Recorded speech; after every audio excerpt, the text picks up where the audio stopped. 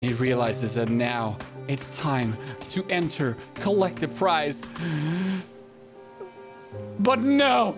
What's happening? Rice is looking in despair.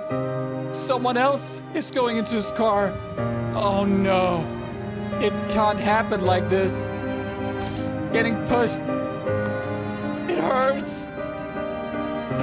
He realizes that he cannot enter. It's locked.